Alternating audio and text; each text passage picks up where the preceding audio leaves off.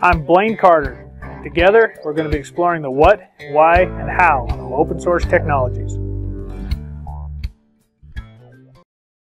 In this video, I will show you how to set up an SSH tunnel for one of your build jobs in Oracle's Developer Cloud Service.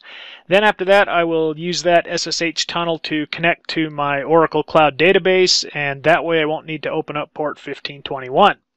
Now, if you're not familiar with Oracle's Developer Cloud Service, or DevCS for short, it is a hosted team development and delivery platform with all kinds of useful tools to help you and your team be more efficient. Uh, I'll put some uh, helpful links in the description below for DevCS and some other things that uh, you may find handy. All right, let's get started. Uh, you can see here I'm in my DinoDate project. I'm going to click on the Builds tab and I'm going to create a new job. I'm going to call this job Demo SSH Tunnel and I will select the software template that I have previously created and then hit Create Job. This will open up the uh, configuration for the new job. Uh, I'm going to skip over the uh, source control build parameters, some of the stuff you would normally do in a build job step, and instead I'm going to just jump over to the environment, and I'm going to add an SSH configuration environment. Now, of course, for an SSH connection, I'm going to use an RSA private key and public key that I have already generated. Uh, you don't actually have to fill in the public key, but if you plan on using these keys to connect to something else uh, other than just the database, you can get access to them by checking this little checkbox down here, which will make these available as files in the home SSH directory, and I'll show you that here in just a second. Uh, so I'll put that in there. Oops, I put the private key in twice. Let me get the public key. There we go. Now I have the private and the public key.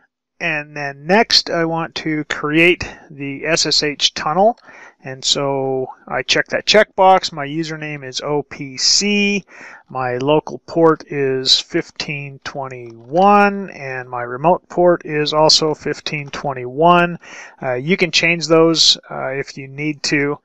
Uh, my IP address for my server goes here. That'll get me to my database.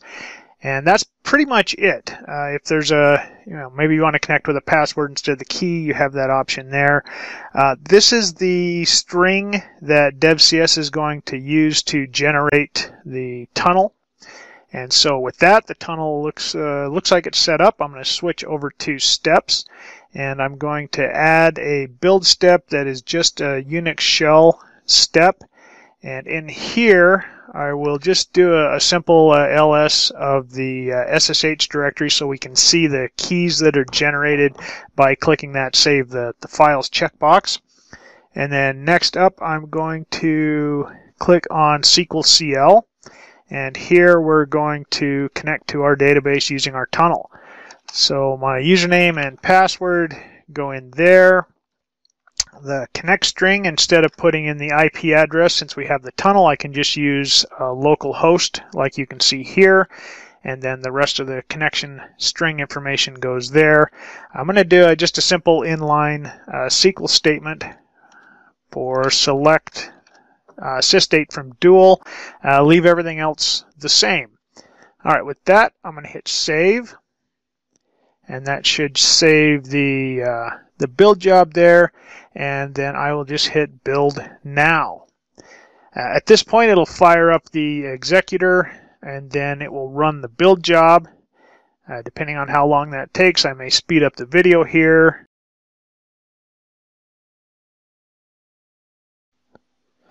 All right, you can see it uh, spinning up. We'll click on this little button here so we can watch the console as uh, it does its thing.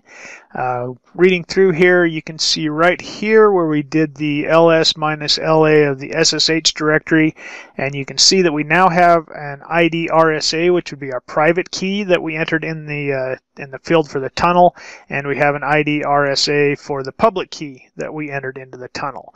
So that part is just to show you where the keys are saved if you need to use those for some other purpose.